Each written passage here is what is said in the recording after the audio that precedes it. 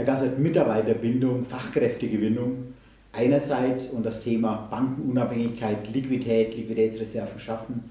Andererseits sind ja so die wichtigsten strategischen Ziele, wenn es um die Zukunftsfähigkeit und eine zukunftsfähige Ausrichtung von Unternehmen geht. Wie kann das unabhängige Versorgungswerk hier beitragen? Das unabhängige Versorgungswerk kann insofern was beitragen, dass durch uns sehr, sehr hohe Renten sichergestellt werden können für den Mitarbeiter, die seinesgleichen suchen. Die Renten sind in der Regel zweimal, dreimal oder noch höher wie die normale Lösung, die Versicherer anbieten.